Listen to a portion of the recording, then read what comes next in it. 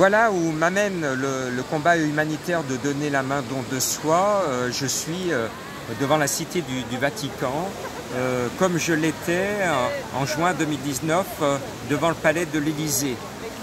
je m'adresse aujourd'hui aux autorités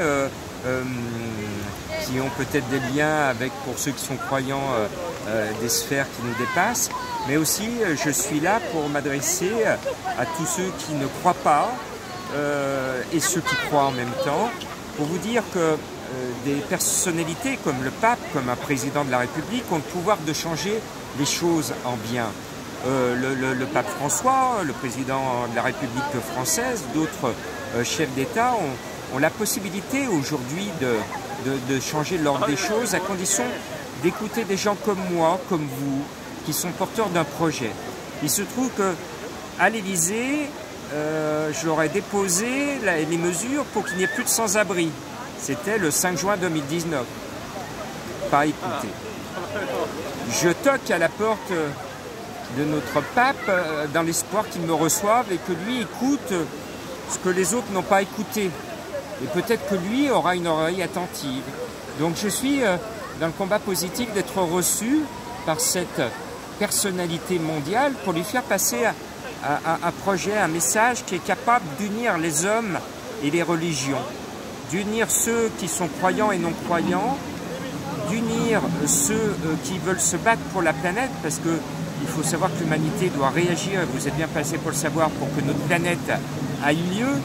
Donc j'ai besoin, j'ai besoin de vous, j'ai besoin que par ces réseaux sociaux, vous puissiez euh, diffuser, partager, pour que ça revienne aux oreilles de notre pape, peut-être de notre président de la République, ou au chef d'État de votre pays, en disant attention, il y a un petit bonhomme là qui, au moment de la vidéo, est sur, euh, sur cette grande place devant le, Vatican. Il était avant devant le palais de l'Élysée. Il serait peut-être temps euh, que les choses bougent. Et pour que les choses bougent, pour qu'on soit enfin dans le raisonnement d'être terrien, il faut que ces personnalités qui ont le pouvoir euh, puisse me recevoir. Et je suis là pour diffuser un vaste projet qui va être extrêmement positif, qui ne va pas forcément coûter beaucoup d'argent si tout le monde se donne la main pour le réaliser. Donc voilà, je m'adresse à vous parce qu'il faut que ces portes qui sont aujourd'hui fermées soient demain ouvertes et que des personnalités comme le pape François, comme des présidents de la République me reçoivent et qu'on puisse faire bouger notre monde en bien. Euh, je sais qu'on est pour la plupart d'entre vous dans la, logique de, vouloir euh, admirer cette humanité qui est capable d'aller plus loin, de faire beaucoup mieux que ce qu'elle a fait jusqu'à présent. Mais pour que cette humanité progresse positivement, il faut que des personnes comme moi, comme vous, puissent apporter vos idées, votre petite pierre. Moi, j'ai une énorme pierre à confier au pape François ou à n'importe quel chef d'État.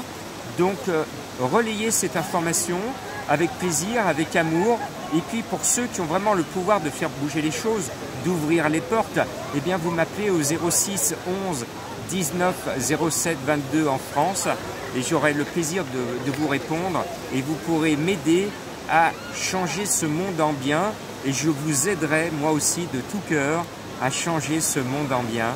Merci à vous et ce message, je le répète, s'adresse à tous les terriens, qu'on soit croyants, non croyants, que l'on soit défenseur de la nature, euh, qu'on veuille défendre son morceau de pain parce qu'on souffre, on est dans la souffrance, et je pense beaucoup aujourd'hui à ceux qui souffrent.